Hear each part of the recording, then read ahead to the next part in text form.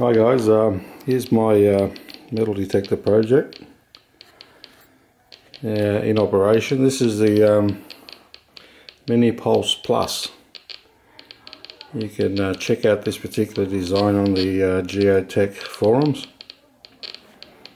and you can buy a kit of parts if you wanted to build it as a kit. Anyway, just a quick uh, video to show how it works. Um, unfortunately the uh, in my house there's a lot of uh, steel mesh under the floors. A lot of the house was tiled originally so it's got a lot of steel mesh under the floors and it's very hard to test anything indoors in this place.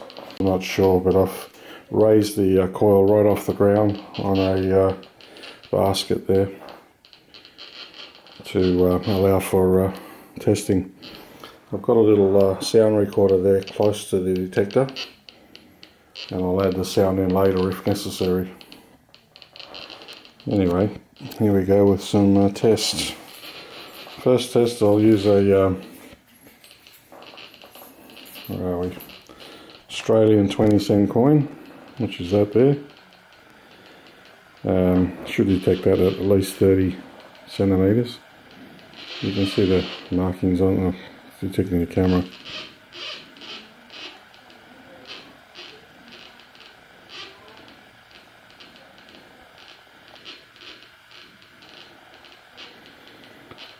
Bit, bit more than 30 centimeters.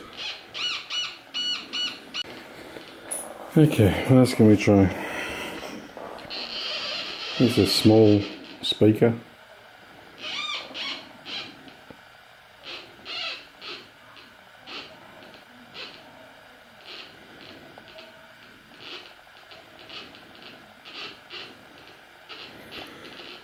We're getting that at about 40 centimeters. Here's a uh, metal detector. This is the actual case that I built my detector into. Got a spare one here which is uh, going to have a receiver built into it.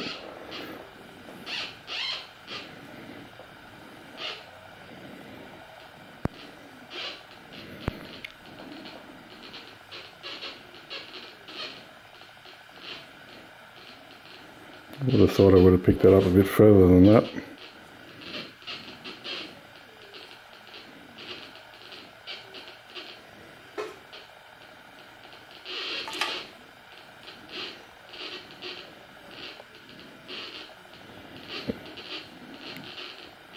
Let's say that's about 65 centimeters. Um, I'll do a, a ring. I'll use my ring on my finger, so obviously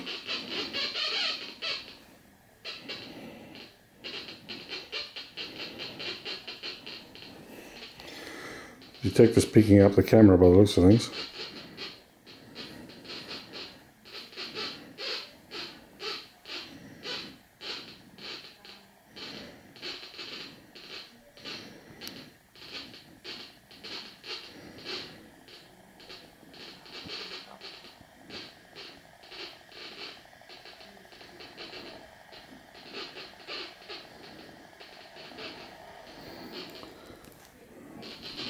Hmm, the detectives have to hold the camera a little bit further away.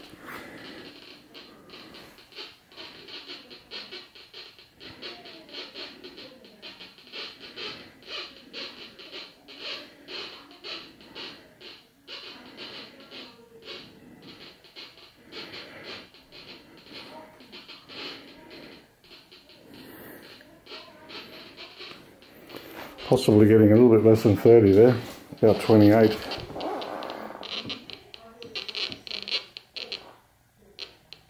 Just turn the threshold down a little bit. Um, I have picked this same ring up at 30 centimetres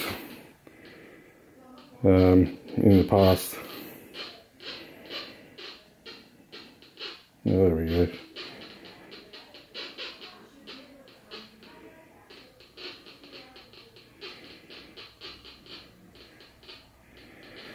There we go, it's a weak 30 centimetres anyway. Okay, we've got a couple more targets here. Small uh, ring again. Looks like gold. Hopefully it's gold, not really sure though. Um, there we go.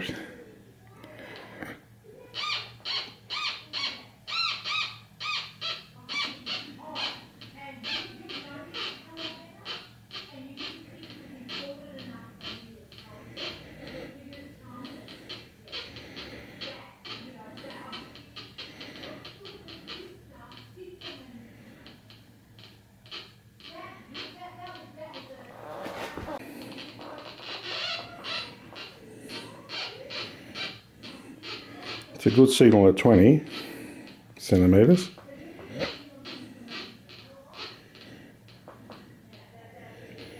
Yeah. Just detecting it at 30. Detector's getting a little bit of interference there from something. Just detects it at 30. What else can we try? I know I haven't got one here now, but a, a paint can, a four litre paint can, will detect that at one metre easily. Um, what else have I tried? Uh, average coin's about 30, 30 centimetres, um, one foot in the uh, if you're in America.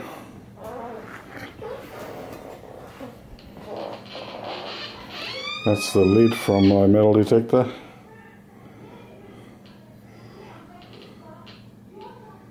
It's just detecting it just over 60.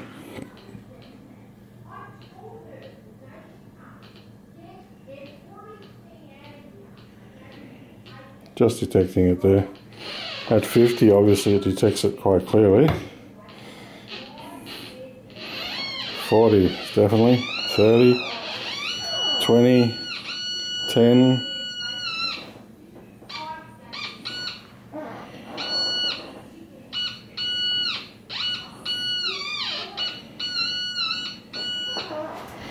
This detector does have uh, a self-adjusting threshold. I'll demonstrate that. We'll put this here. The detector will adjust itself to that and then it'll still still detect another object which is quite handy.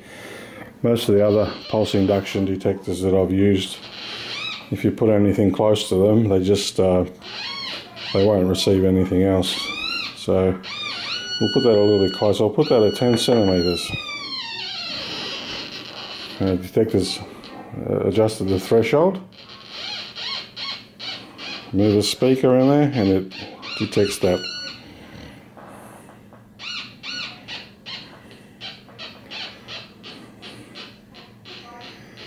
So that's quite good. It's detecting the um, speaker at about 35 centimeters. You know, take that metal away from the detector,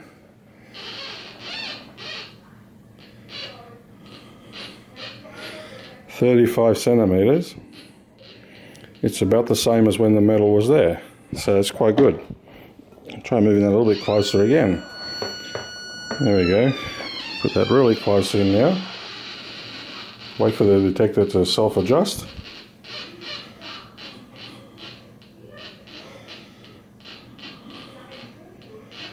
And it still detects. Let's try something a little bit more savage. Ooh. Put that right up against the detector. Wait for the detector to self-adjust. And it's detecting again.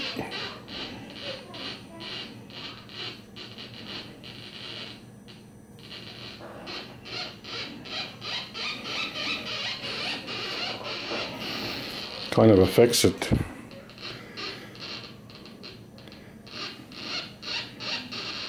Once it, uh, obviously once it detects this speaker, when I take the speaker away, it kind of re-detects the lid.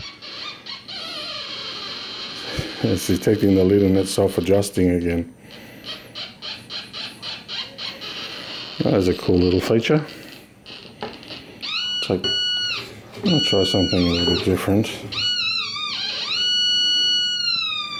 There we go, try that.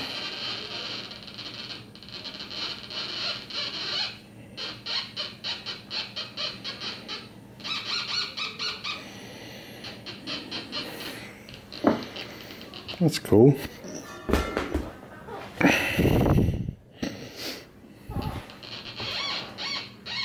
That's a small gold ring again.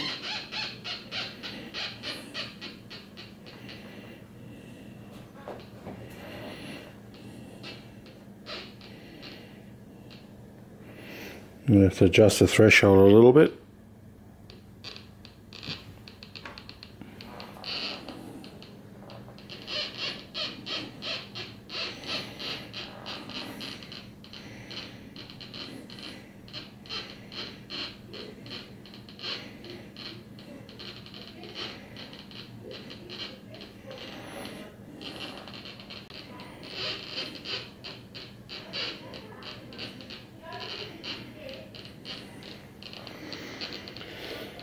Try this other little ring here.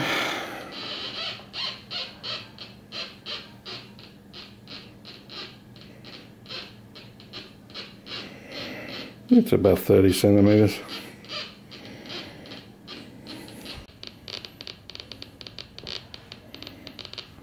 The detector's got a uh, threshold control here. As you advance it, it goes from like crackle to mind you even at the high even at a high setting like that the detector still still detects there's no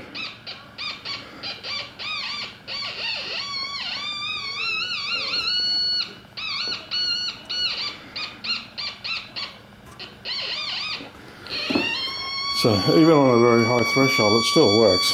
But uh, I found that the best sensitivity is when the uh, when it's just crackling a little bit like about there somewhere. I find that to be the, the most sensitive part. Um, apart from that, we've got a delay control here. Sampling delay. This is a very short sampling delay of about six, uh, six and a half, seven, and you can advance it all the way to this end where it's about, uh, I think it's 55 or 60 sampling delay pot is actually used to help discriminate between say aluminium and gold. It's not the best system in the world. Um, does help a little bit.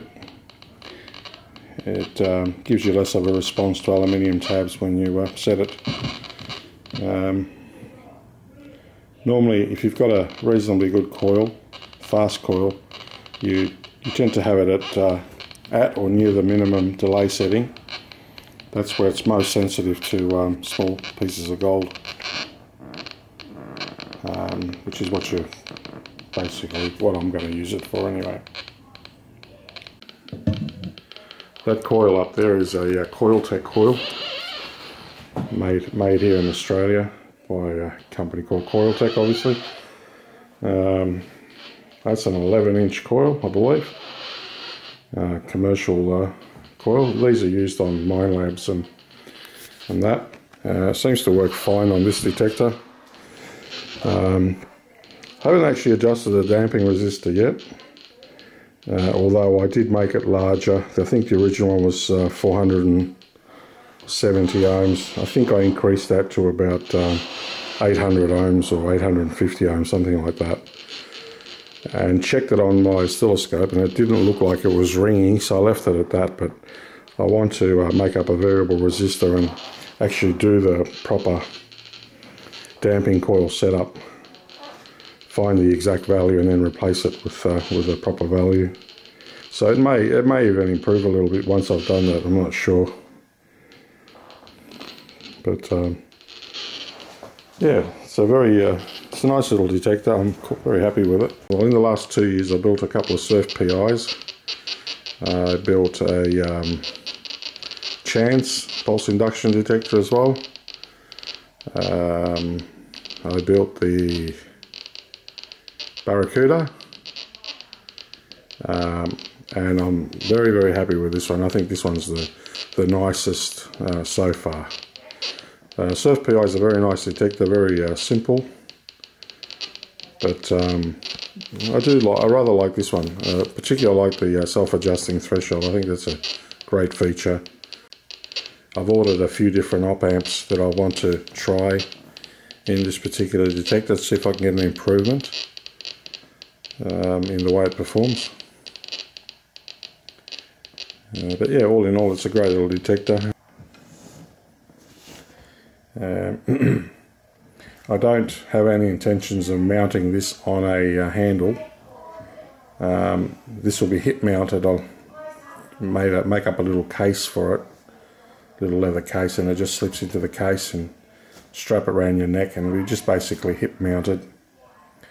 When I say hip mounted, it'll actually be resting on my stomach, so I got access to the controls and everything, and um, I don't have to carry the weight of this on my arm. Um, it's also handy uh, if you wanted to use it with larger coils or uh, you know even if you want to use it with a small pinpointer coil and just sort of uh, searching little gaps between rocks in a creek bed. It's handy to have the detector just like that. You can just sit it on a rock and then just go probing around with your little probe